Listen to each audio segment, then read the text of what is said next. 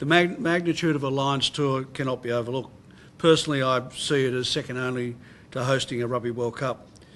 There will be likely, uh, based on past experience, particularly 01 and, and what we saw uh, in uh, New Zealand in 05 and 09 in South Africa, about 40,000 Lions fa- fans, the red shirts, will be on the march, travelling around our great country watching their team in action.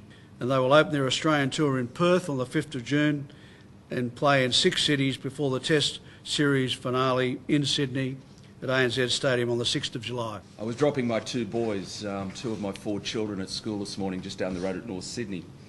And I mentioned to the guys that I was coming up the road uh, to do this quick press conference and uh, talk about the, the ticketing for the Lions series, which of course is coming on next year.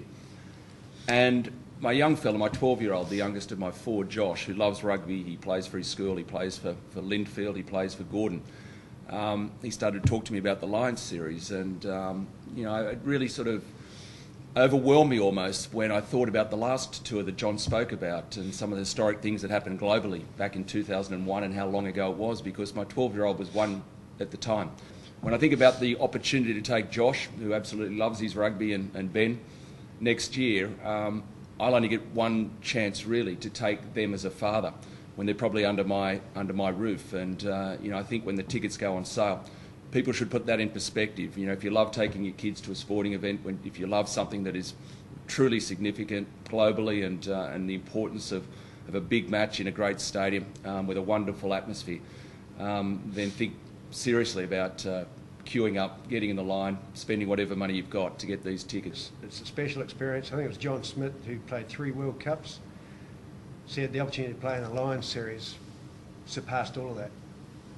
The simple maths explains it really, once every 12 years. And it is such a unique event. They are special tourists. Mm. They make the occasion such that there is no other occasion quite like it, where you get clear delineation in terms of the support groups and passion. Um, so you know, I was lucky enough to actually play against the Lions as a player and for my province, and we ultimately won.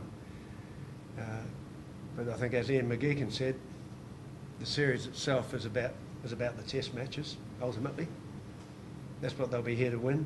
But the great thing is that we, we get a whole group of provincial players who have the opportunity to experience the international arena, and there will be players that will, will respond to that. Mate, very exciting. You know, uh, you look back all those years and see how you know a big deal it was then, and you, you think you know it could only be the same this time, and you know hopefully bigger and better you know, listening to you know, Nick Farr-Jones speak about his experiences and um, you know my own personal experiences when I was you know a young kid, sort of when they came over, and uh, just that sea of red, which I'll never forget. Hopefully, we can um, pack the stands with some green and gold. Obviously, the memories of 2001 are still fresh in a lot of people's minds, being sort of ambushed at the Gabba. I guess something you'd, you'd want to experience on the field this time. Oh yeah, look if that comes about, it'll be it'll be an amazing experience, and it's uh, it's a once in a career chance to, to be able to play against the Lions, and um, if that comes about, you know, it's uh, it's something which you know, every player will um, you know, cherish.